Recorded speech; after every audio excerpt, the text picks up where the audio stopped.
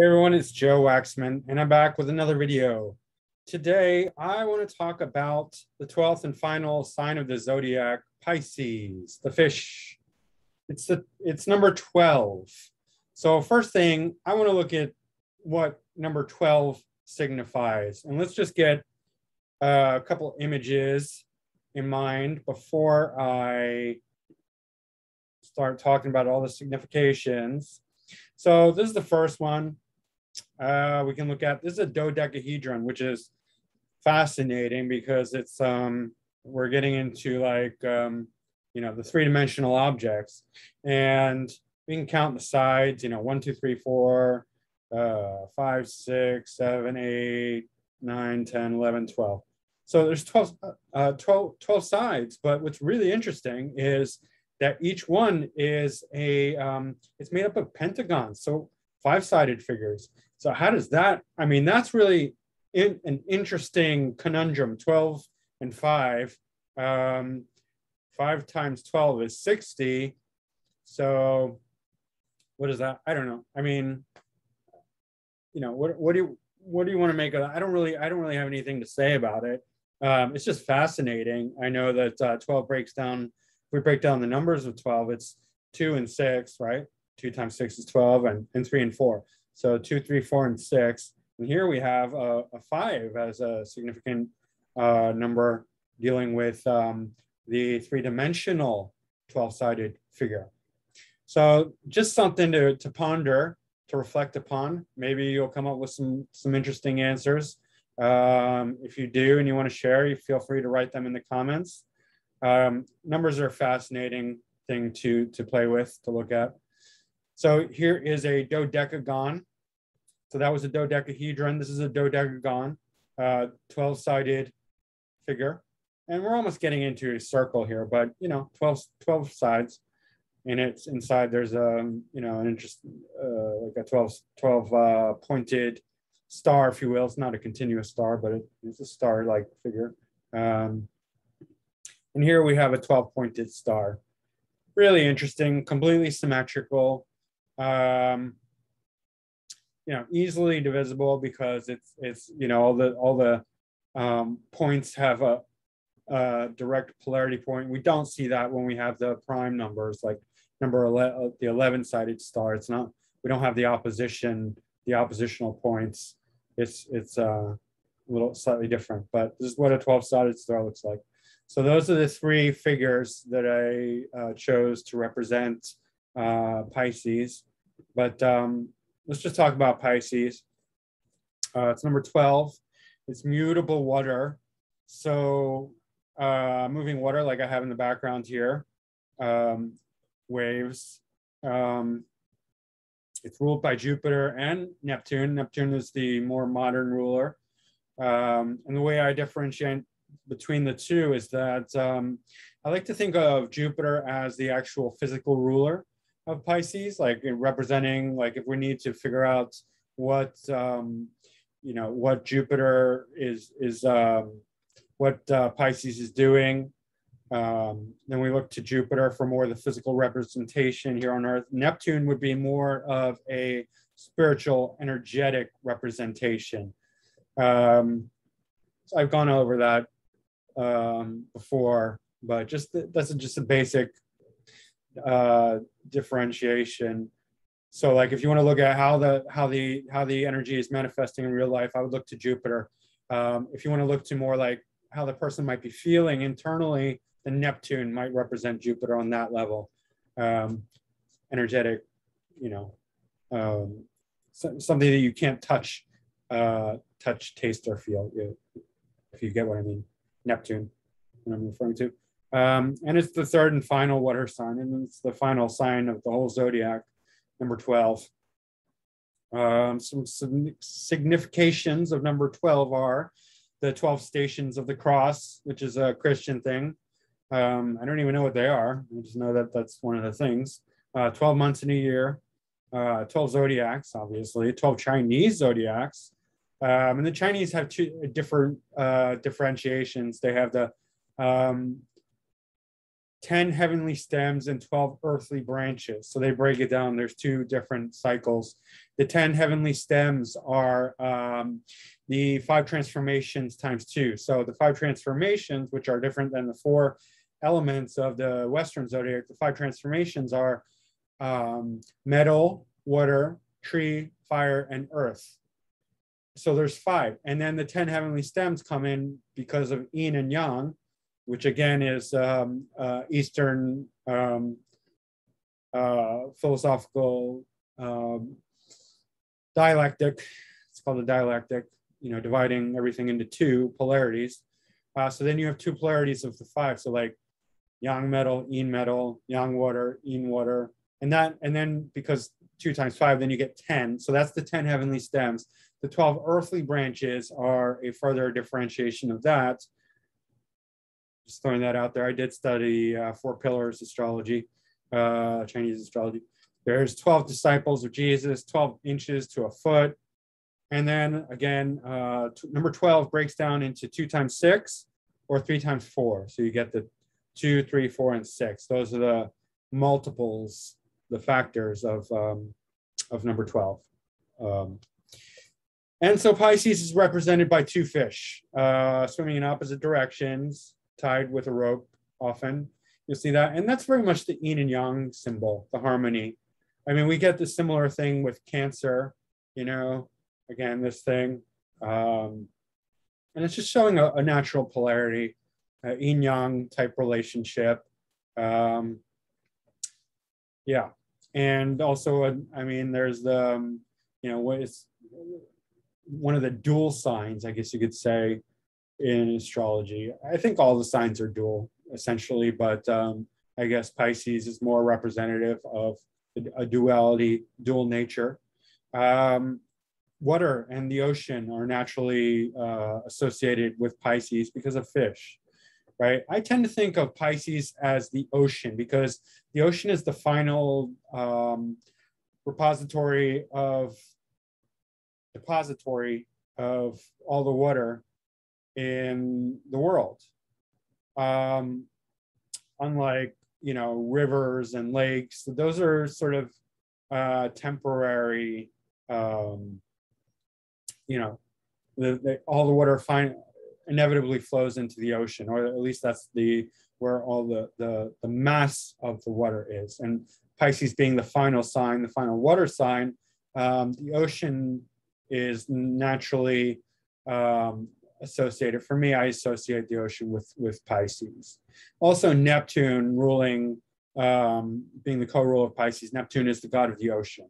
So there's that association as well right? And then the ocean is so deep and so vast, things can naturally get lost in the ocean. So naturally, we have this correlation of loss in the ocean. And that's how I like to differentiate between something like Scorpio and Pisces, the difference there, where um, in Scorpio, we can get lost, but then we can find ourselves again. In Pisces, we can get lost and just stay lost, right? It's much more um, the trouble with Pisces is, is kind of like just a complete and total loss in Pisces. Whereas with Scorpio, there's the possibility of redemption. It's the death and rebirth. Whereas Pisces, we don't consider it the death, it's just loss. It's because death almost has the opposite connotation of rebirth. But with Pisces, it's not a death, it's it's just a complete loss.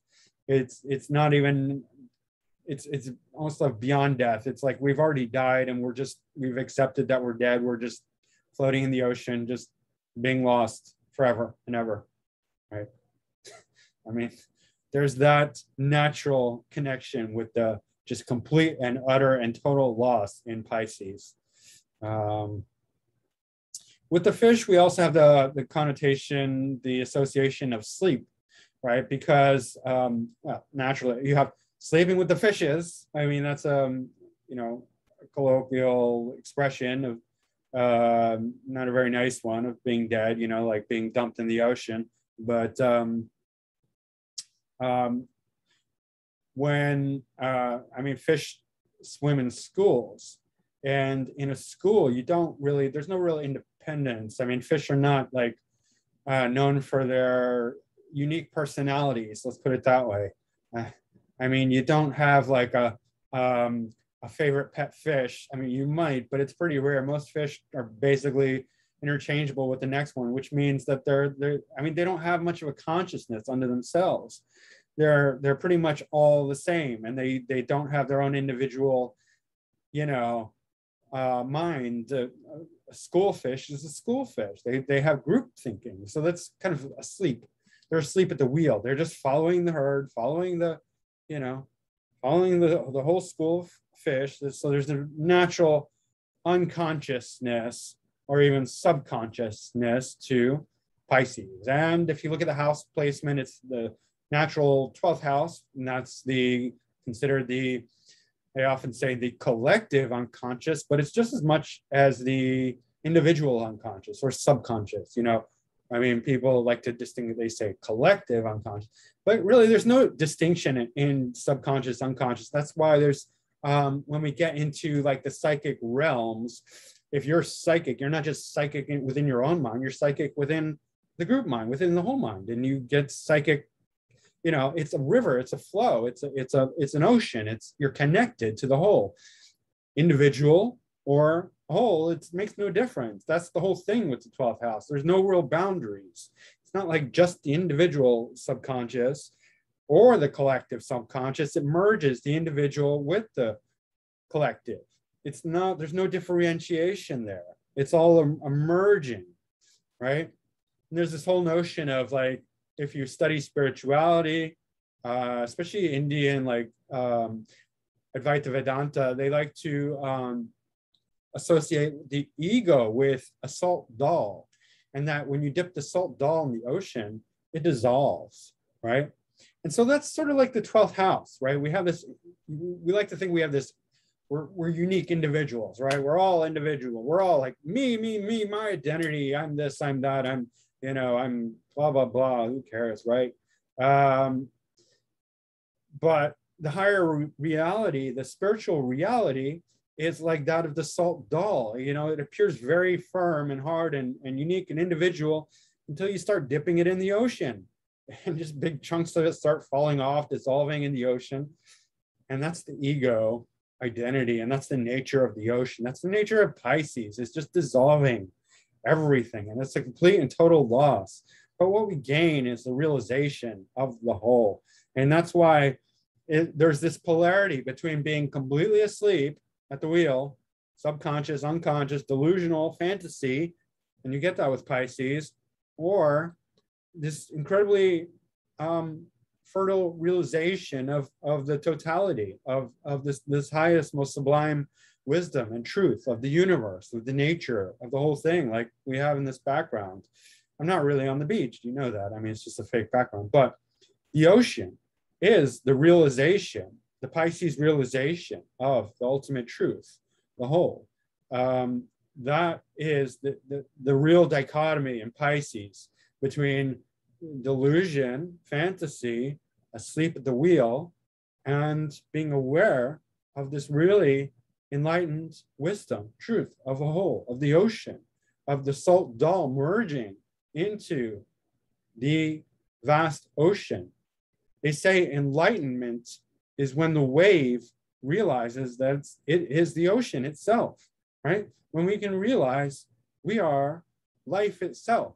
We are the, embodiment of life. We're not so much individual people, individual beings, as we are life's longing to experience itself, right?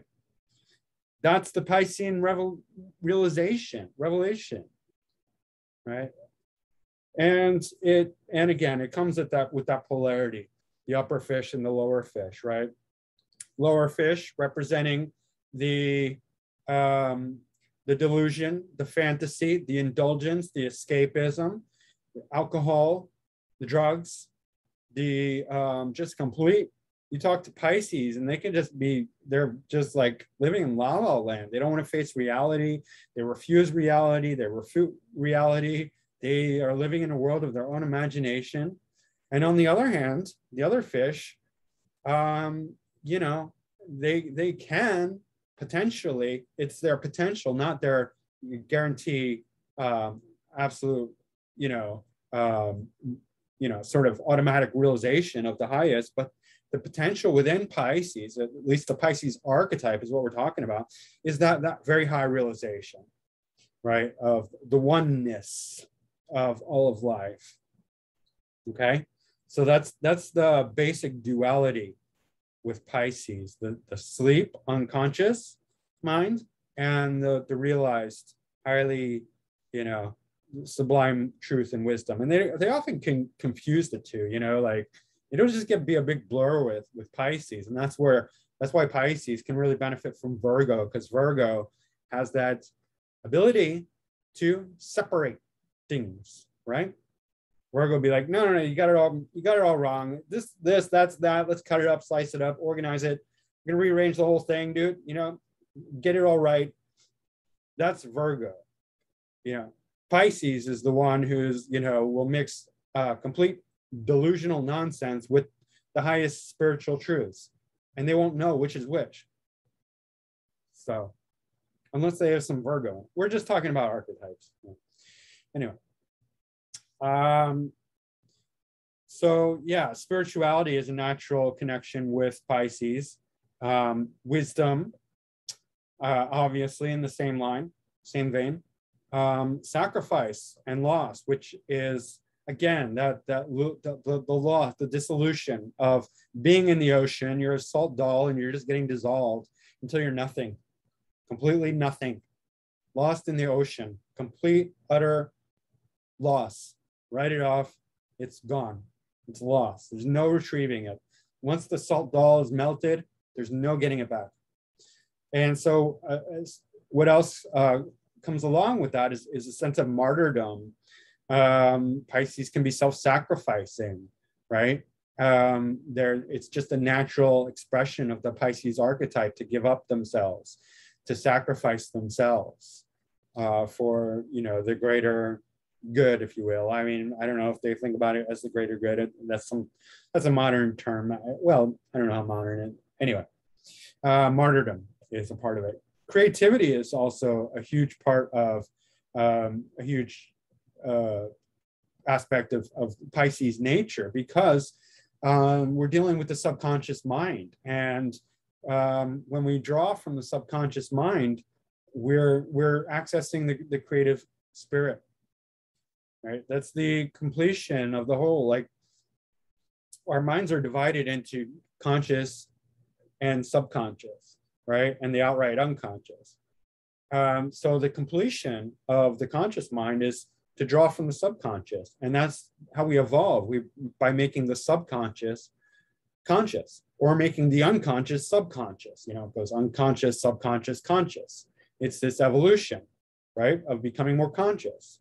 And so it's a creative aspect when we can draw from the subconscious and make it conscious into creativity of whatever it is artistic creativity. We call it art often, uh, but it's just creativity. I mean, having a baby is also a creative act.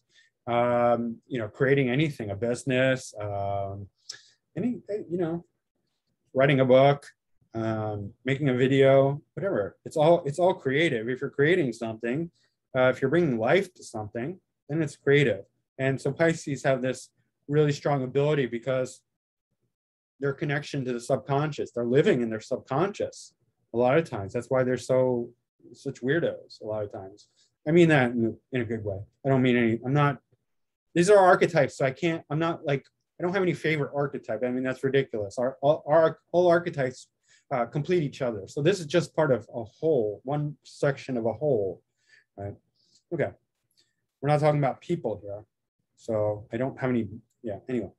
Uh, the, Pisces can be incredibly generous, of course, because of this, this, um, you know, the, the loss, you know, they're, they're constantly losing of themselves. Uh, of course, they have, you know, the, it's, it's a very big energy, so they can, you know, they have a lot to give, but it's part of Pisces nature to, to lose themselves. So they can be very generous and give a lot.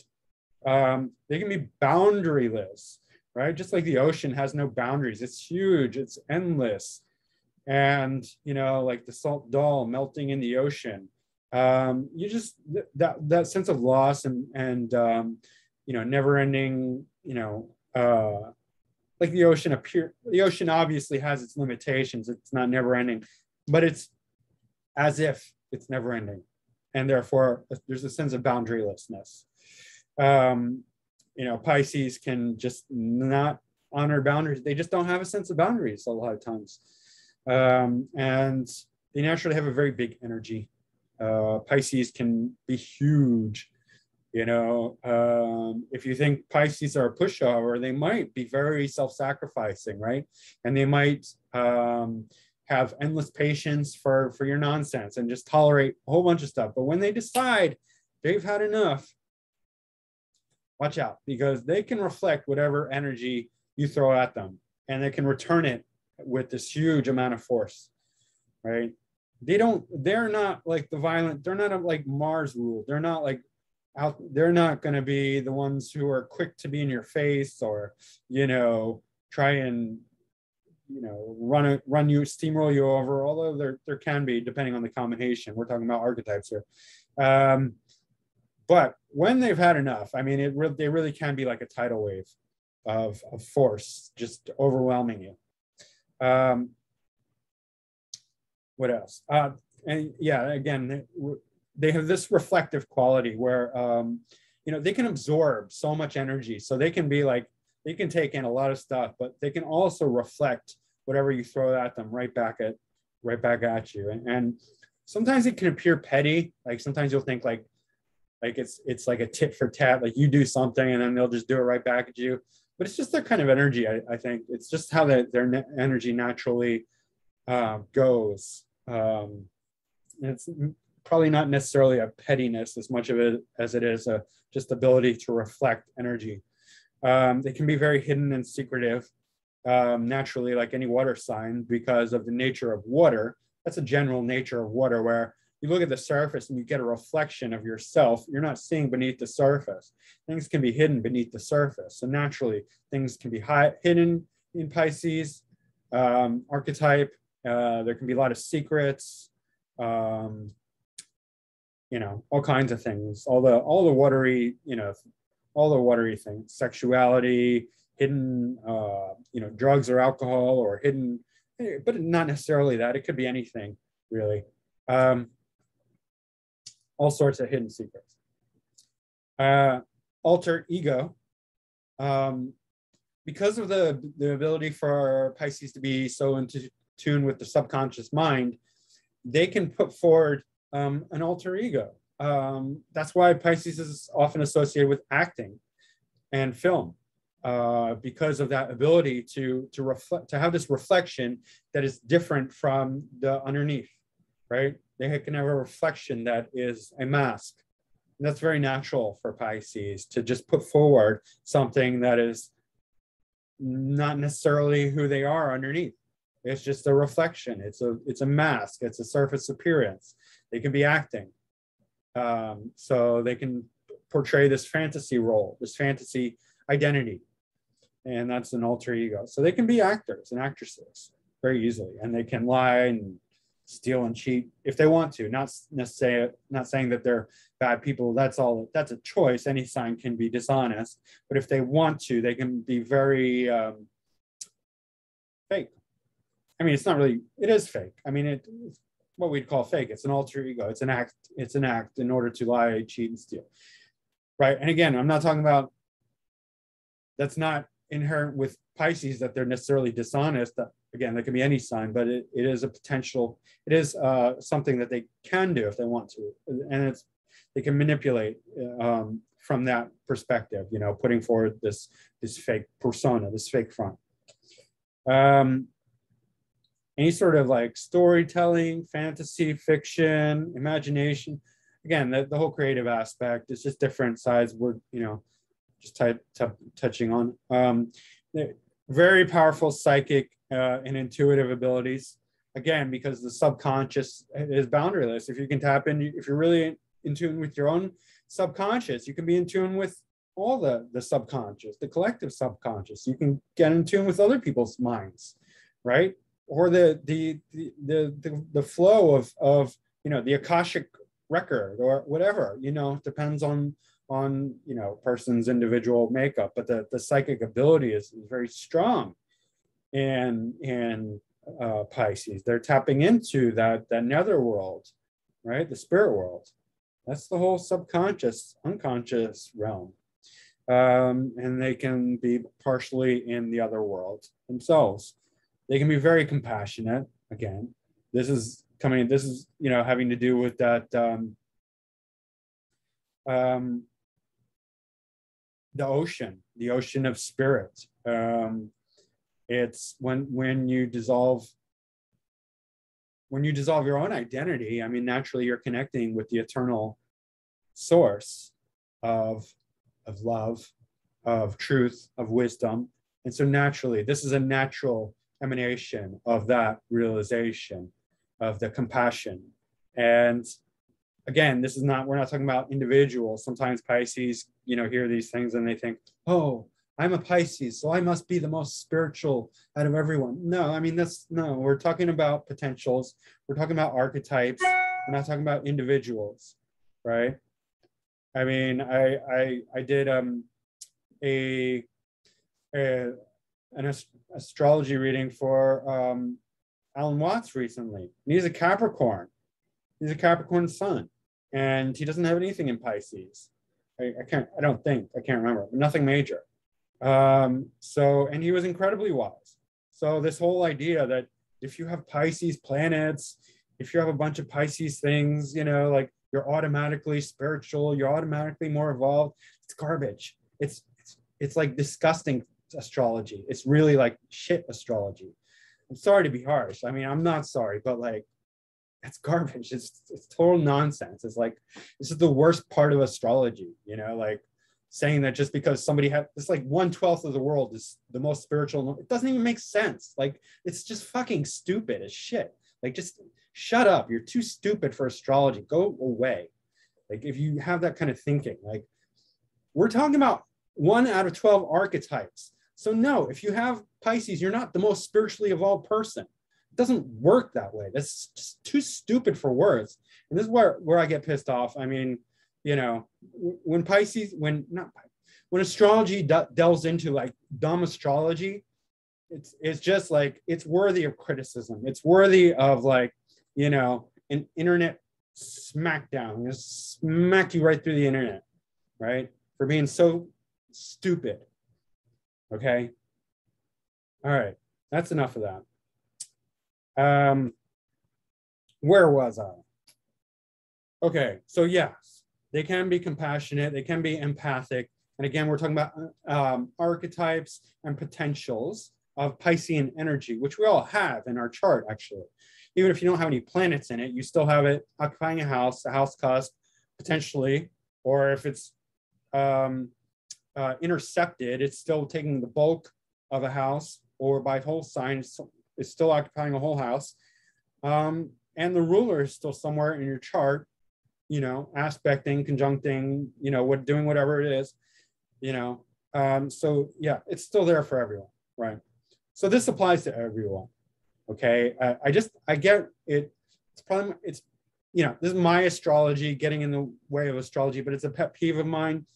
Not getting in the way, but it's it's hanging up on when people do this like stupid astrology of like i'm a pisces therefore i embody all the astrology like the final sign of the astrology and they get all like high on their their bullshit and it's like it doesn't mean that. It doesn't mean you're more evolved just because you have pisces sun moon ascendant whatever. It doesn't. That's wrong. It's just wrong and bad. It's wrong and bad. So there you don't agree fight me okay? All right. Uh, Pisces archetype is um, naturally empathic. It's not the only empathic sign, um, but again, that's you know very much the ability to connect to others and um, feel what others are are feeling. You know, it's that that boundarylessness, the the, the collective subconscious, if you will. Um, Pisces can also be confused and out of touch. Again, there's that that that dream world of fantasy, being completely asleep versus being completely awake. You know, the lower and the higher fish. Um, they can turn to escapism of all kinds, most notoriously drugs and alcohol. That's classic uh, Pisces representation of the lower side of things, the lower fish. And they can be uh, along the same lines, completely delusional, even crazy. You know, Pisces can be insane, but so can any sign. Uh, but they're insane for the reason that, um, you know, they're just living in uh, fantasy land in uh, complete uh, delusion. Let's look at uh, the chart. Share my screen. And all right, we're looking at Whitney Houston's chart because she's a Pisces ascendant. Um, I did her reading this morning, but we're just looking at the houses here. So just ignore the planets. Um, and um, let's see what um, this this does apply um, to Pisces ascendant very strongly, but it's Pisces in with any placement, with any planet, Pisces Sun, Pisces Moon, Pisces Venus, Pisces Mercury, all the planets in Pisces. Why? Because we can take any planet and look at it from that perspective and put it on the ascendant to understand how that planet is relating. And we get a chart that is, you know, uh, with let's just for this example, we'll take Whitney Houston. Even though she's a Pisces ascendant, we could make a sun chart and it would be Leo on the ascendant. And then we would say, oh, and the second house is Virgo, and the third house is Libra, and the fourth house is Scorpio, blah, blah, blah. We could do a moon chart and it would be Aries, and it would be like second house is Taurus, third house is um, Gemini, fourth house is Cancer, blah, blah, blah. Right? We could do that for every single planet. We could look at it from the Mars perspective and say, first house is Libra, second house is Scorpio, third house is uh. So you get it, right?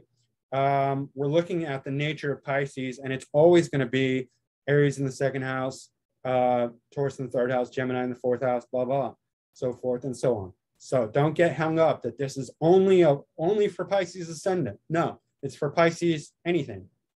Okay. Yes, Pisces ascendant is most clear, but it'll apply to Pisces sun, Pisces moon, Pisces Mars, Pisces Mercury, all of it. Okay.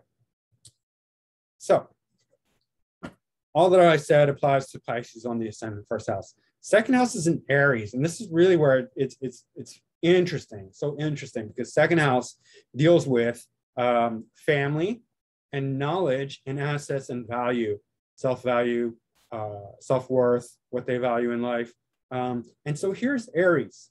And if you've ever come across a Pisces and talked to them for a while, you might realize that they are insanely uh, insanely confident about their own abilities and their own value and their own, you know, they're like, you know, they rival Leos in, in many ways and in, in their like, in their own self-esteem. They're like, um, and this is why I, I always have to rail against Pisces being not the most, um, you know, just because you have Pisces planets or ascendant or anything uh, does not mean make you automatically more spiritual because they always throw that out. I'm so spiritual. I'm more evolved than everyone. That's the Aries in the second house because it's dealing with the mind. It's dealing with their knowledge. It's dealing with their voice, and it's dealing with their their self worth and their self self uh, esteem. You know what both what they value and how they value themselves. And here it's Aries. It's all um, you know Mars and fire and confidence, right? And that's why they're always like, I'm a Pisces. I'm the most spiritual automatically. Like I'm just I just am. You know, like all the Pisces. We all are like Pisces you we're the just the we're the final sign and we're just better than everyone you hear that with pisces and it's like I, it makes me want to you know makes me mad probably because i'm i'm scorpio ascendant and eighth house. So i have a lot of mars and here's you know mars is second. So it's like you know that mars okay? Not everyone gets mad about that but i do. Um and it was like shut up. You're not. Like you're just a pisces delusional like all the rest of them okay? That's not to say that Pisces cannot be very spiritual. Of course they can, but it's not a requirement to be highly spiritual. I've looked at tons of highly of all charts and they're not all like Pisces, Pisces, Pisces, right? They're not even all water, water, water. It could be anything. It could be a lot of earth. It could be anything. Anyway, um, in, they're insanely confident uh, with their own abilities. And I think the less evolved they are, the more they're sure they, that they're like the most evolved uh, when it comes to Pisces. They're, I just, I've come across too many ridiculously um, insane Pisces that just, they're like, just, you know, and they'll say it so sweetly because that's the third house, Taurus, like ruled by Venus. they're just their their expression is beautiful and nice. And like my third house is um capricorn. So i'm like Rrr! and they're all like they'll say like oh i'm so evolved in all my past lives. I've just spent you know working on my spirituality. And now i'm just more evolved than all the gurus and more evolved than everyone. And i'm so evolved that i don't have to do anything. I'm just like shut the fuck up. That's yeah that's the difference between me and and and, and them. Uh what can i say? I mean i'm just being real with you guys. I mean okay so third house that's so that's aries second house. The third house is like i said their expression is very creative very beautiful um their their writing ability their speaking ability this is why one of the reasons they're so creative right and I'll give that to Pisces. I mean, they are. They're they're one of the. It's one of the most creatively powerful signs. Um, this um, Taurus third house, also for voice. This is amazing because Taurus is the sign of voice. It's in the third house of expression. So like the, the, their their ability to use their voice to be sing-songy, to be expressive, really powerful, really strong, right? Um, beautiful expression. Um, yeah, um, their fourth house is in Gemini, and Pisces will have this funny thing where they'll they'll just be like very restless at home. Uh, they'll be uh, re- rearranging the, the furniture all the time. Um, they might like to sleep like all over the place, like throughout their house, you know, because they don't have any boundaries. So they're just like they'll sleep in their bed, but then they'll also sleep on the couch, and they might make a bed on the floor um, you never know where they're gonna you're gonna find them next. Um, they're gonna have like 10 different places they like to sit. It won't be one place, it'll be all over, right? And they'll be studying and they'll be reading and they'll be studying and they'll be like musical chairs, like and because they have no boundaries, it's like, you know, you know, one day they'll just be, you know, here, the next minute they'll be there, and, and then they'll be, you know, in in somebody's room, you know, like they'll be invading other people's space They'll they'll occupy the bathroom, they'll occupy the kitchen, they'll just be everywhere. Gemini all over the place, and they'll be antsy, and they, you know, Gemini short distance travel, but it doesn't stop them from you know moving up and moving house. Like they'll move a lot. Um, you know, they can just be crazy in there with their homes, just like erratic, restless, and and they'll love to study a lot at home, like reading books, multimedia, uh, communicating all over the place and because uh, Mercury is also ruling the seventh house, so then they'll also love entertaining at home. They're, they're going to want to have people, all kinds of people in their house, entertaining, you know, coming over for meals, hanging out, all that kind of thing. Um, yeah. Um, what else? Oh yeah. Um, also, second house is ruled by Mars. And ninth house is ruled by Mars, so we can't ignore that. That they're you know they're tying in the, the philosophy and religion and spirituality with their with their highly like overconfident um, Aries, uh, you know, knowledge, asset, self, mind. So like what they're confident about often has to do with spirituality, philosophy, um, that sort of thing. They're tying these two t- together, these two houses, uh, second and ninth. So they're supremely confident about um, religion, philosophy, spirituality, and all that, and their knowledge base, um, as well as their assets. You know, they can be very um, Martian. They can spend a lot because Aries is not a very conservative sign. They can spend a lot of money very quickly and erratically. All right, um, fifth house, Cancer. They can. They are. They're very compassionate people here. Uh, excellent with kids. Pisces make excellent parents, excellent caretakers for children, um, because this is the fifth house of, of children. Also, creativity, Cancer and fifth house both are conducive to um, lots of creativity, right? Um, they're very caring, very nurturing, love to take care of things and, and be very, very creative and soft and, and motherly and all that right? Um, yeah. Fifth house is Leo. Uh, sorry, sixth house. Sorry. Sixth house is Leo. So this is naturally where they they shine. Sixth house is the house of service, right? So Pisces are very generous. They love to give. In fact, they need to give, and it's part of their their personality of this this giving, this service, right? Uh, the, this ability to to serve others, to give selflessly. Um, although with Leo here, it's it's maybe not selflessly. Maybe it's there's some certain amount of ego when they give, but I mean, that's okay. I mean, it's, it's still house of service, and Leo's where they shine naturally. Um, so it's very important for for Pisces to to give and to serve others, and also daily mundane life.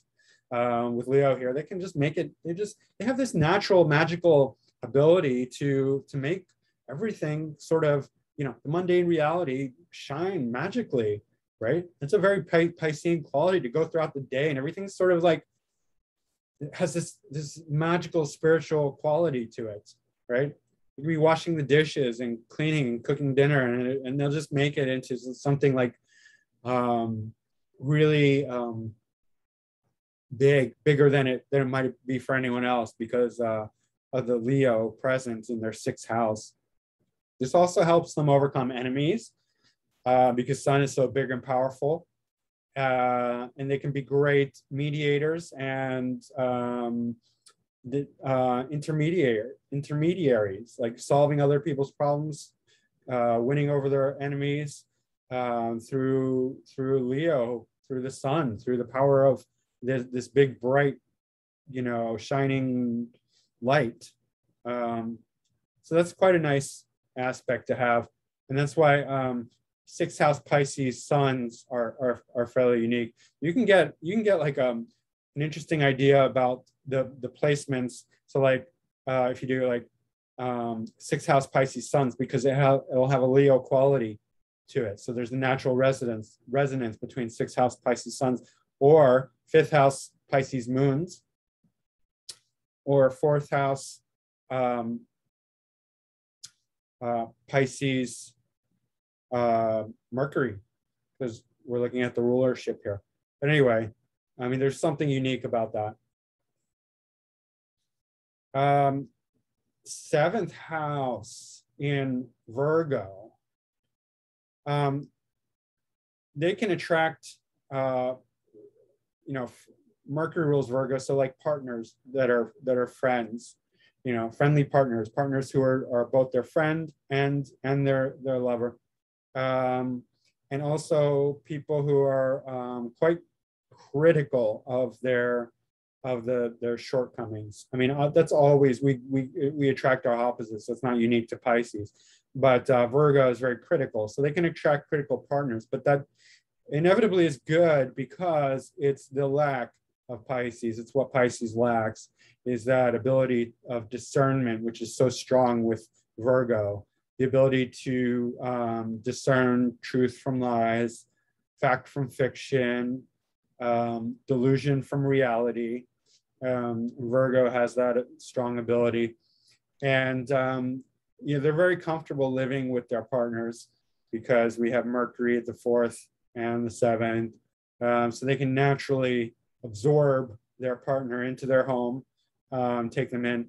Also, they don't really have boundaries. So it's like, you know, they're not going to care because what's yours is theirs and what's theirs is yours and it's all theirs and it's all yours. And, you know, it doesn't really matter to them, generally speaking. Um, Piscean nature, not, we're not talking about individuals. Um, so, yeah. Uh, Libra's in the eighth house. Uh, and that's really interesting, I think, because Libra is a sign of balance and justice and and peace and, and balanced relationships. And the eighth house is a house of depth and crises and shared resources and sex. So they're very balanced about shared resources. And this is one of the things that makes them very generous because usually people are wanting to like, you know, they have like this like um you know, especially when it comes to eighth house, it's a house of power and seeking power and dominance and unequal relationships. But here they want equality. Um, so they're very generous. They're, when the shared resources, they're really one of the most generous people on the planet, Pisces. You know, despite this, you know, I, I know I'm critical of, of, their their second house you know, Aries, you know, we're so spiritual. They really have some some very evolved qualities that that are really quite nice. And that's this uh, one of them is that this um, Libra eighth house where they they can really um, be fair and balanced with within their their their um, in the in the area that other people seek power. Where other people where others seek power, they seek balance and equality. Um, that's a really evolved quality. Um, Pisces can be superficial, and eighth house is anything but superficial. So that's a nice polarity as well. They're bringing together something that is normally very su superficial and surface and bringing it into the depth. We also see that with uh, Scorpio, with Gemini in the eighth. That's where my sun is. Um, you know, and that forces me to go deep into things. Here, it's forcing Libra to go deep into things. Libra, being among the most superficial of signs, is going very deep. And so it's going deep into the occult. And because Libra also is, you know, cardinal air, so good with the intellect, again, they can have excellent, profound understanding of these deep secret matters, the occult, um, hidden things, uh, anything having to do with, with secrecy, with psychology, with sex, with research. Uh, they can be excellent if they're so inclined to dig deep into those matters um, because of Libra in the eighth. And they're going to be very fair and balanced with, with their partners. Uh, yeah. Um, and very giving in sexual matters as well, because the Libra fair and balanced. So anyway, Scorpio in the ninth. Now here they're taking the, all the, the scorpionic things in very deep into religion and philosophy. So it's mi the mixing of the occult and religion and philosophy and spirituality. So they're going to take they're going to take it not only very seriously, they're going to take spiritual matters, religious matters, philosophical matters very seriously, very deep. It's very important to them, right? Philosophy, religion, spirituality, higher knowledge, right? Higher wisdom, ninth house matters. Uh, it's very, very deep and meaningful and mystical. And they're going to bring in the, the occult into that whole thing and they're going to mix it together. It's going to be one bag of spiritual mysticism, occultism, philosophy, religion, you know, all of it. It's, it's going to be um, a very important thing for them because, again, it's also second house. So their, their, their knowledge, their assets, they're going to value eighth and ninth house matters. They're going to value scorpionic. They're going to value ninth house matters in a very scorpionic way, in a very deep way, right? Um, extremely important for Pisces. And Jupiter is ruling the MC as it is ruling the ascendant. So their career is going to have a lot to do with their identity. They're going to embody their career as teachers, as gurus, as philosophers, as you know, religious people, uh, could be very creative. Um, you know, it could be anything Jupiterian involving like uh, travel, long distance, philosophy, high mindedness, you know, or, or like eh, sort of higher learning, higher knowledge, higher education, anything Jupiterian, um, anything benevolent, benefic, toward, you know, the goodness towards for, for humanity, celebration. Sagittarius is also loves to loves to party so I mean, it could be on the lower end something very um, just celebrate celebratory. Um, you know, they could they could be um, I don't know. They could organize social events, social gatherings where people celebrate and do things like that. Anyway, it's going to be Jupiterian. Um, could be money related because Jupiter uh, can deal with finances as well. Um, yeah, college, grad school, anything like that. Capricorn in the 11th house, uh, they're going to be very selective with their, their groups and circles and people who they hang out with. Um, they're going to be very, um, they're going to use groups and networks to advance their career and to help with their career success.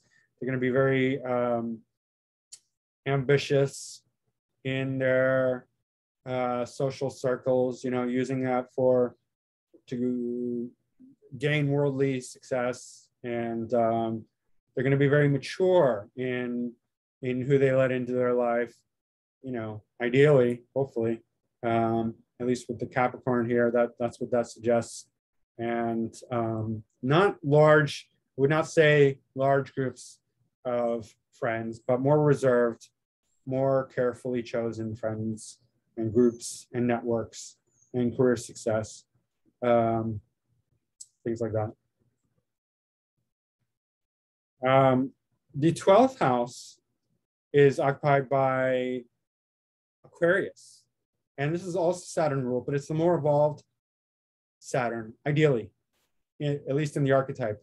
This is the, the Saturn that's, that's concerned with the masses, with society, uh, with the big picture, with the awakened, enlightened society. And it's the 12th from the 12th. It's, it's the 12th. This is Pisces' original house in, in the natural zodiac.